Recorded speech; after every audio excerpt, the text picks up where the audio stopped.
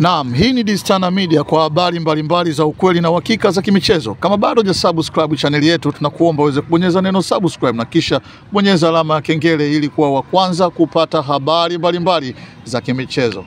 Habari kubwa ya kimichezo tunayopenda kusogezea mezani leo ni kuhusiana na ligi ya mabingwa barani Afrika kuweza kushika hatamu tena katika msimu mpya wa mashindano 2024 2025 katika viwanja tofauti tofauti, lakini macho ya watu wengi kutokea nchi ya Tanzania walikuwa wakiutazama mchezo kutokea pale jiji la Dar es Salaam katika uwanja wa Chamazi Complex ulioko pale jijini Dar es Salaam. Miamba ya soka kutokea nchini Tanzania, da Young African ama maarufu kama Yanga walikuwa dimbani leo wakimenyana vikali na timu kutokea pale nchini Burundi, timu ya Vitalo, na mchezo kuweza kumalizika, mchezo wa mkondo wa kwanza wa raundi ya kwanza katika ligi ya mabingwa barani Afrika, huku Vitalo wakiwa nyumbani katika uwanja wa Azam Complex. Mchezo umeweza kumalizika kwa da Young African kuweza kuibuka na ushindi wa mabao manne kwa sifuri dhidi ya Vitalo kupatokea pale nchini Burundi.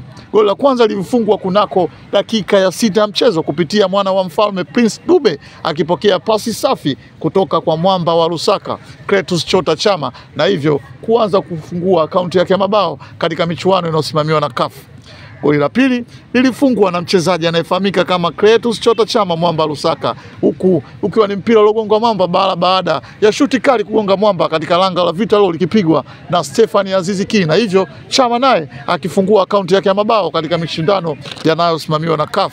Dakika sabini na nne ya mchezo, mchezaji anayefahamika kama Clement Mzize naye pia kwa pressing nzuri aliyofanya aliweza kufunga bao la tatu la mchezo kunako dakika ya sabini na nne na mchezo. Lakini dakika ya tisini na moja ya mchezo, dakika ya nyongeza, Stefani Azizi Ki aliweza kupiga mkwaju wa penati na kuweza kuiandikia timu yake bao la nne na bao ambalo ni la mwisho katika mchezo wa leo, huku Yanga wakishinda mabao manne, Vitalo wakiwa hawajapata kitu. Na huku ikumbukwe kwamba msemaji wa Vitalo alikuwa amesema maneno mengi kuhusiana na kwamba leo da Young African wataweza kupewa darasa la mpira kupitia kocha huyo wa timu ya Vitalo, isipokuwa kinachoonekana ni wao ndio wamepewa darasa kubwa na miamba hii ya soka kutokea nchi ya Tanzania. Ikumbukwe kipindi Kikosi cha kwanza kilichoanza leo, golini alianza Jigidi Ala skin protector katika miligoti mitatu. Yao Kwasio Tola, Nixon Kibabage, Bakari Nondo Mwamnyeto, Ibrahim Baka, Hariri Aucho the Tank, Maxim Pia Zengeli,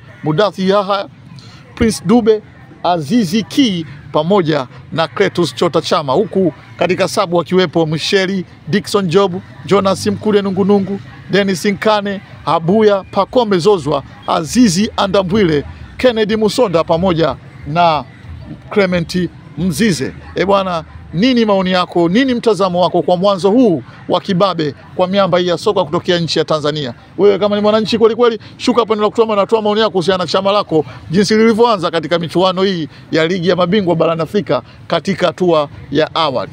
Asante kwa kuwa nasi, bye bye.